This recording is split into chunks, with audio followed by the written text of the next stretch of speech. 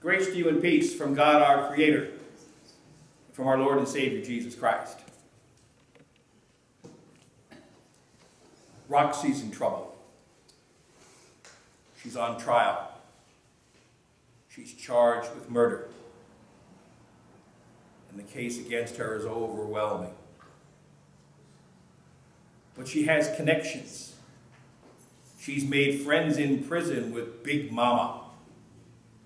And Big Mama has arranged for her to be defended in court by none other than the famed attorney Billy Flynn.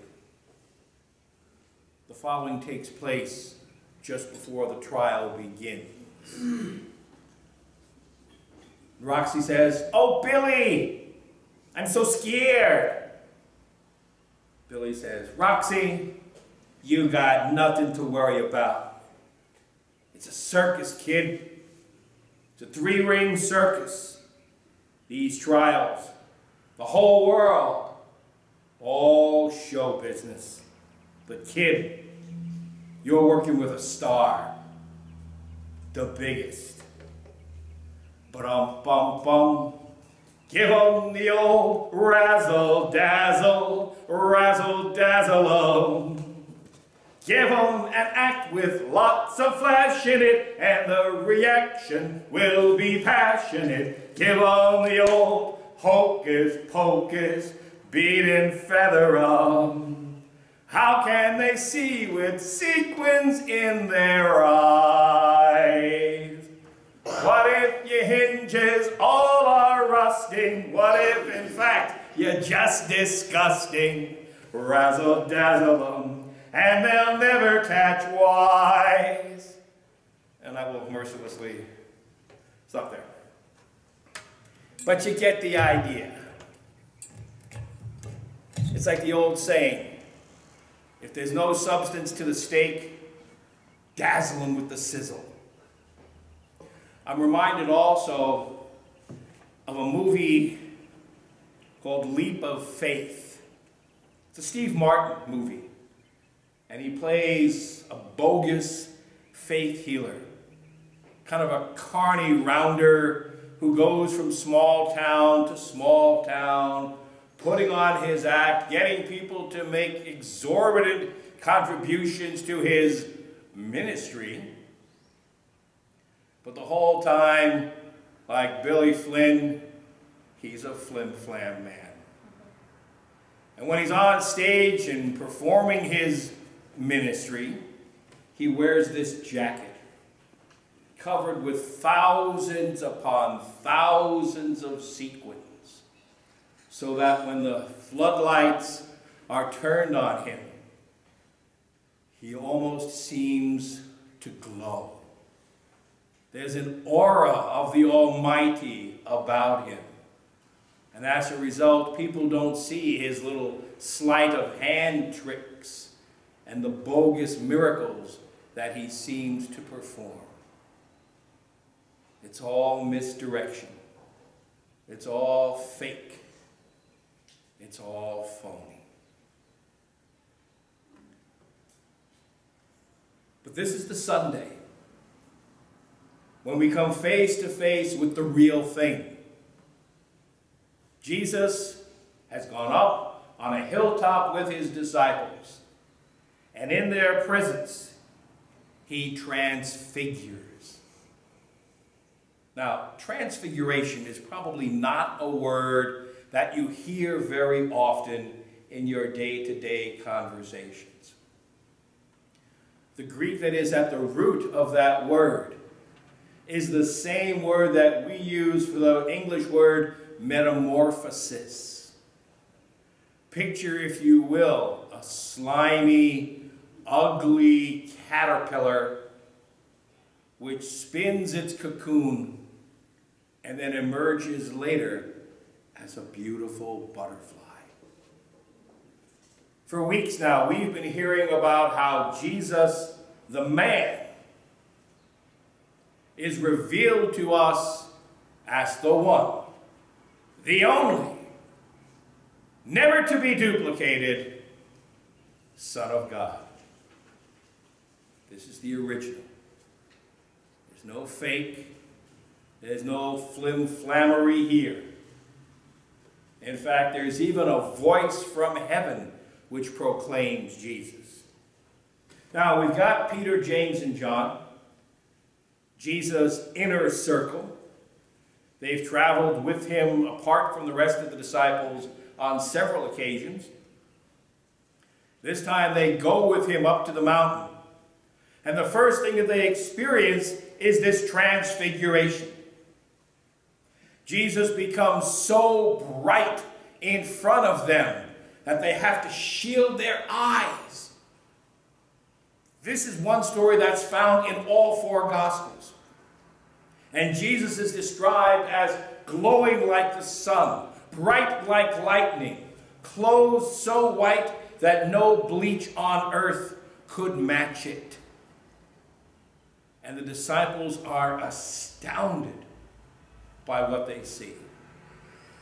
But Jesus is not alone with them, for there appears to them the two greatest figures in the history of the nation of Israel Moses and Elijah.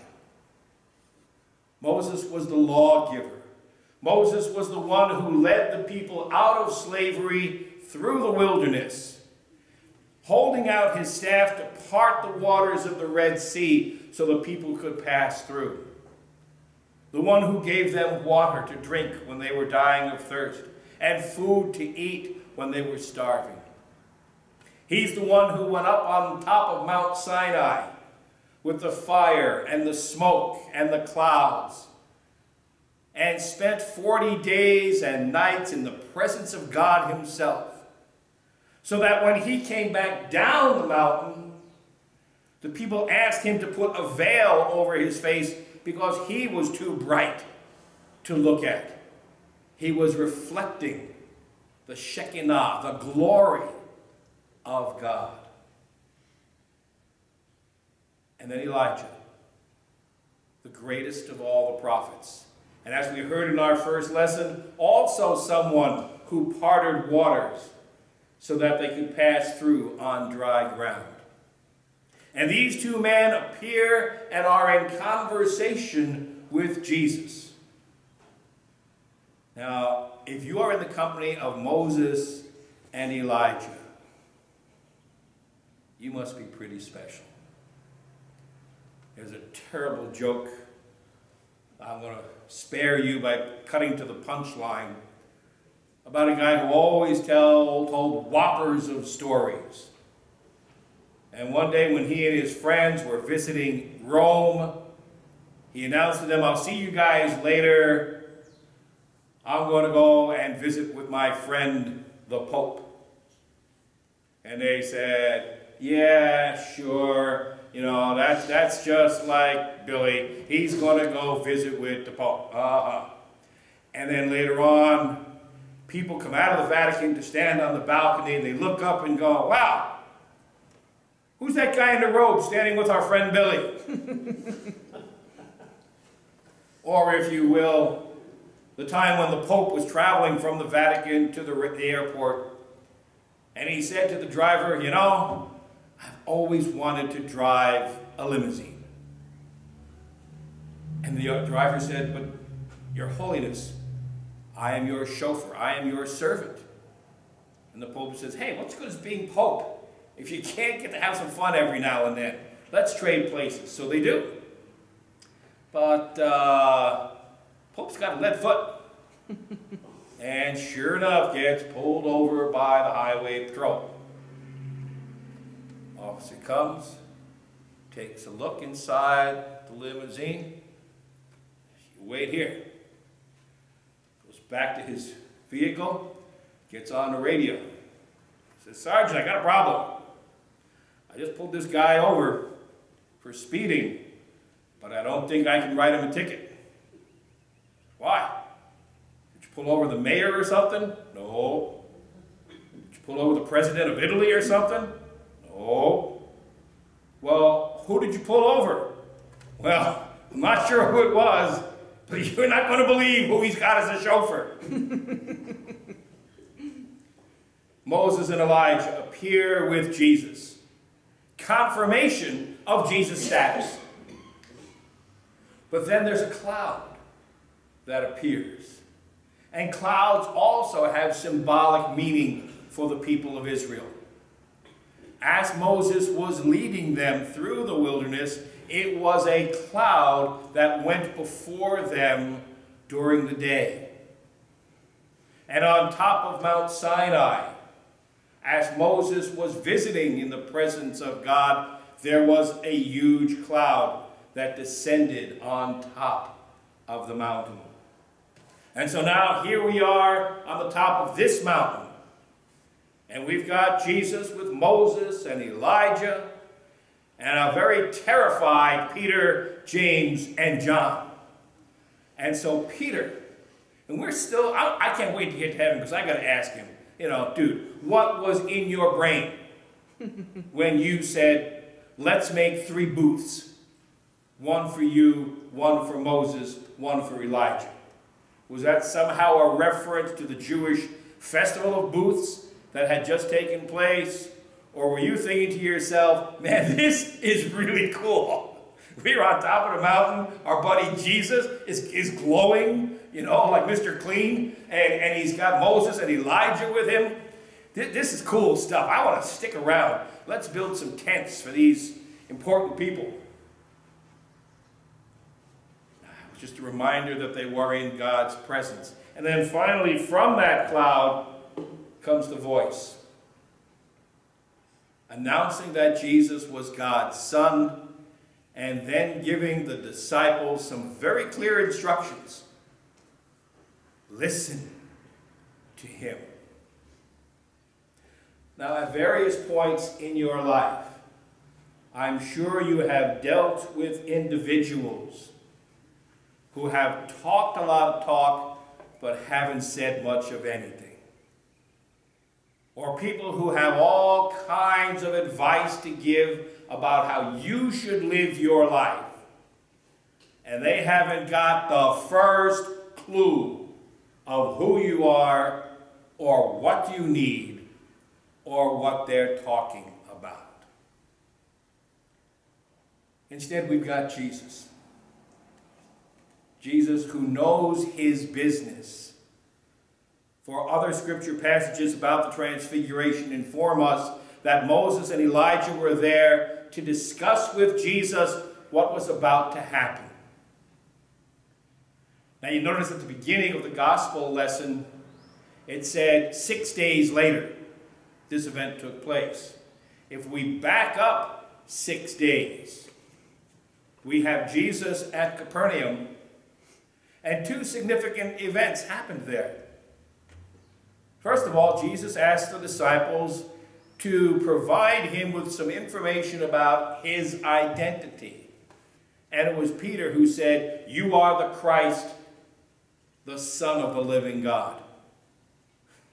And survey says that's the number one answer. But then just a few bits later, when Jesus is explaining that the Son of God's mission was to suffer and die, Peter tries to prevent it. Forbid it, Lord, that this should happen. Again, Peter, open mouth, insert foot.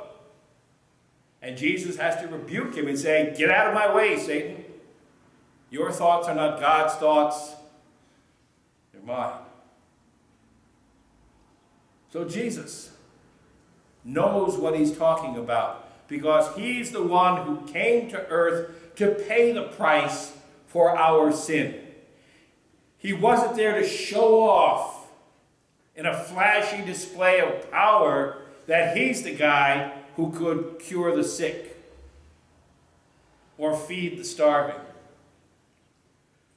The miracles that he performed were to draw attention to his identity as God's Son as the Messiah, as the one who had come to earth to suffer and die so that our relationship with God and our relationship with others might be restored.